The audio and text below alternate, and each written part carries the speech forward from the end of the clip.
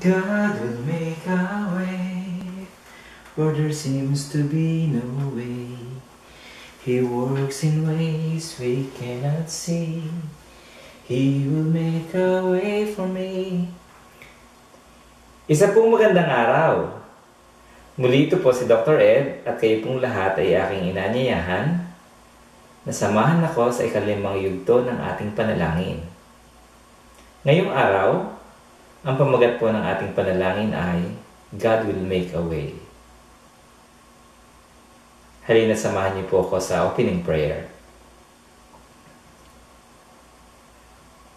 Panginoong Diyos na makapangyarihan, kami po ay lumalapit muli sa iyong kabanalan na nagpapakumbaba. Humihingi ng mga kapatawan sa aming mga pagkakasalang nagawa. Ganon din, O Diyos, ay ipahatid mo nawa ang iyong banal na spirito na siya namin magiging tagapagturo upang maunawa namin lubos ang iyong kalooban at ang magkagayon ay magamit namin ito sa aming mga pang-araw-araw na buhay dito sa lupa. Ito po ang aming panalangin sa pangalan ni Jesus. Amen. Mga minamahal, habang patuloy ang uh, kabanghamanghang pag-unlad ng teknolohiya at mga kagilagilalas na pagkatuklas ng siyensya, ay tila naman dilubyong uh, dumating ang pandemya at sinakluban ang lahat ng ito.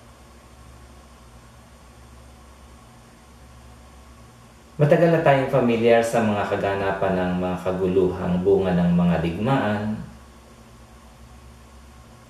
mga kalamidad katulad ng mga lindol, bagyo, pagsabog ng bulkan, at mga iba't iba pang mga sakuna. Marahil ang marami sa atin ay katulad ko rin na nagtatanong, At mabuti na lamang at may mga pagkakataon na ang mga bagay na ito ay ating nadadala sa pamamagitan ng panalangin. Salamat na lamang sa banal na salita ng Diyos na kung saan sa sandaling tayo may mga katanungan at nang dahil na rin sa pangako ng Diyos ng ating pakikipag-ugnayan sa Kanya sa pamamagitan ng ating Panginoong Hesus. Ang Kanyang banal na salita ay nagsisilbi nating gabay upang masagot ang mga katanungan. Kung kaya't hayaan niyo pong basahin ko ang ating reference text ngayong araw. Ito po ay ating makikita sa Book of Isaiah, chapter 43, verse 16.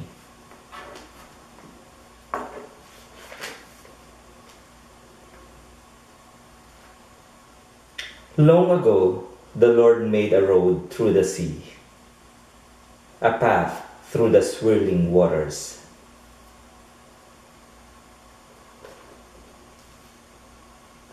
Alam ko pong narinig na natin yung kasaysayan ng pagliligtas nung panahon na ang kanyang mga nilalang ay talagang tila ba wala ng pag-asa. Nang hatiin niya ang dagat upang padaanin niya ang kanyang mga nilalang. Sa akin pong binasa ay madali nating mas maunawaan kapag sinabi natin yung tema na ating panalangin na God will make a way at maaaring sa kasalukuyang kaganapan, ang pandemya, maaari po natin itong gawing analohiya ng mga pangyayaring tila ba kung ating iisipin ay maaaring sa iba para bang makakawalang pag-asa. At marami marahil ang nagiging helpless sa kalagayan sa ngayon. Sa pandaigdigang kalagayan, sa bawat araw na tayo gumigising na may buhay, ay tunay na malaking ipagpapasalamat na natin sa Panginoon. Marami ang nakaka-relate sa ganitong kalagayan dahil uh, alam kong hindi lamang ako ang uh, nawala ng kakilala, kaibigan, bunga ng mapaminsalang pandemyang ito. Kung kaya tayo po'y sama-samang dumulog sa ating Panginoon sa pamamagitan po ng closing prayer na ito.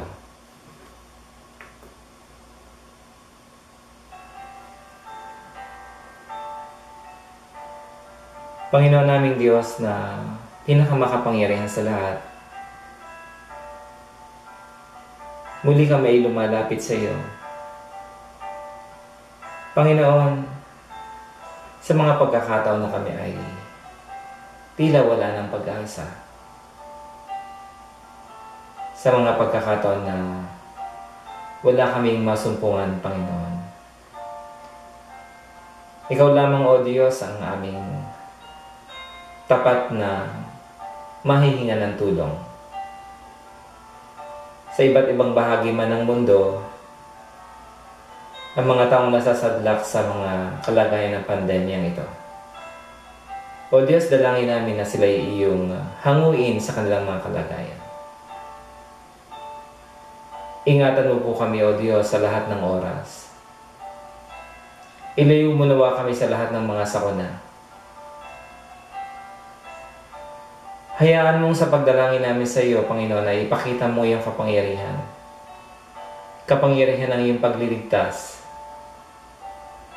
Upang na magkagayong Panginoon, katulad ng iyong pinangako noon, kahapon, ngayon at bukas, Panginoon, ikaw ay aming maaasahan. Alam po namin na ikaw ay gagawa ng mga kagilagilalas na bagay upang kami ng mga tumatawag sa iyo ng Panginoon at tagapagligtas ay iyong ingatan. Dalangin namin Panginoon na lahat ng aming mga kaibigan sa lahat ng social media platform ay gamitin mo para sa kaluguran ng iyong kaharian. May bahagi namin ng kaligtasan mo ang assurance na sa pamamagitan mo, Jesus, kami ay may buhay. Na sa pamamagitan mo ay palagi kami makakadulog sa kabanalan ng Ama. Nawa sa aming buhay ay mahayag ang iyong kapangyarihan. At nang ngayong kaluwalhatian, Panginoon, ay mahayag sa sangkalupaan. Mainam namin ibinabalik sa iyo ang ang glory, Panginoon, sa iyo lang, Panginoon Jesus. Ibinabalik namin ang kaluwalhatian ng Ama sa iyong pangalan. Pagpalain mo nawa ang bawat nanonood sa kanilang mga tahanan, maging sa cellphone man o sa lahat man ng dako. Ito po ang aming samudalangin sa pangalan ni Jesus. Amen at Amen. Maraming salamat po sa inyong pagsama at katulad po ng aking patuloy na imbitasyon. Samahan niyo po ako muli sa mga darating pang episode ng ating mga panalangin. Sumayin niyo po ang pagpapala at kapangyarihan ng Panginoong Jesus. Bye for now.